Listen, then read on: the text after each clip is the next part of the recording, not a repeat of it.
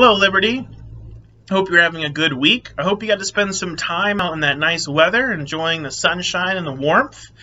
The snow is back and the cold is back, but I've been promised that North Dakota does have a warm season, so we look forward to the summer and getting outdoors and, and getting in the sun. And last week, Brian spoke on how God is in control. And there is one plan that is true, and that's God's plan.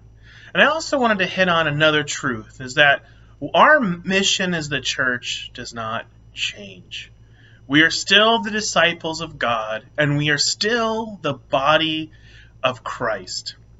And when we look at the early church, when we look at Jesus has ascended and he has given the Great Commission, and then the book of Acts, it gives us this picture of the body, starting in chapter 2, starting in verse 44, it says, And all who believed were together and had all things in common.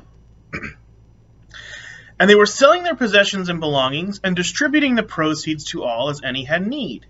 And day by day, attending the temple together and breaking bread in their homes. They received their food with glad and generous hearts, praising God and having favor with all people. And the Lord added to their number day by day those who were being saved. You see, just because there's this coronavirus, just because we're all called to stay at home and be in our homes and avoid contact, doesn't mean our necessity to being the body of Christ goes away. We still need this community. Right? As a kid, I learned this this little saying, and I, you're supposed to do something with your hands. I don't remember, but it says, "Here's the church. Here's the steeple. Open the doors, and there are the people." Right? And what this tells us is that the church is people. It's a social event. This is not just some brick and mortar building. So we are still called to commune. We are still called to be the people of Christ.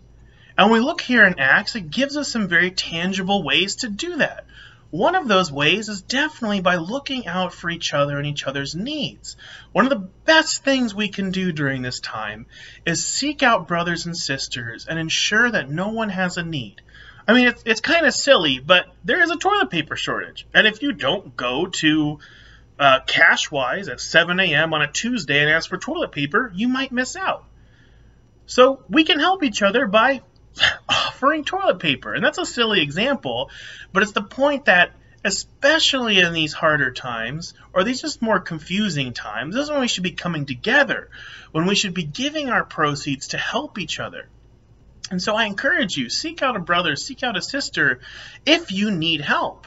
And if you are someone who has maybe a little more, go ahead and, and see if anyone needs anything, because that's what we're called to do. That's what this early church was doing.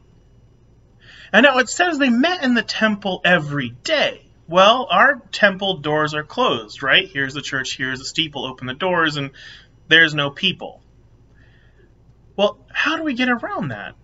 Well, we can often talk about all the bad things about technology, but a really good thing is that we can still communicate, and we have been. I know many groups have been meeting. I know you have already been calling each other and talking to each other, but now let's push for that more. Call that brother or sister that's on your heart. Email them, video them. We need to get creative to find ways to be the body because it's essential. It is all over the Gospels and Acts and Ephesians. I mean, even Paul writing letters to the churches was just ensuring that we need to be the body of Christ. We need to be in community. So I encourage you, I encourage us as a body, reach out to each other whether it's by phone, email, video, some way, just seek the body of Christ. Seek to be in community with each other.